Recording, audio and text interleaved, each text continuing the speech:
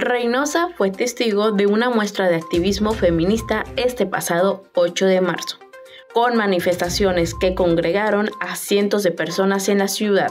Mujeres de todas las edades y sectores de la sociedad se reunieron en la plaza principal.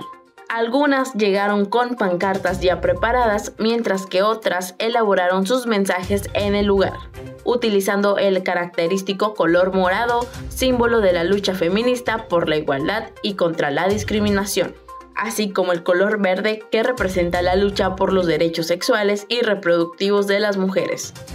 La jornada de protesta estuvo marcada por diversas formas de expresión, desde pintas en paredes sin consignas en pancartas hasta revelaciones personales y la instalación de tendederos de acosadores en algunos puntos un alto a la violencia de género y el reconocimiento pleno de los derechos de las mujeres en la sociedad.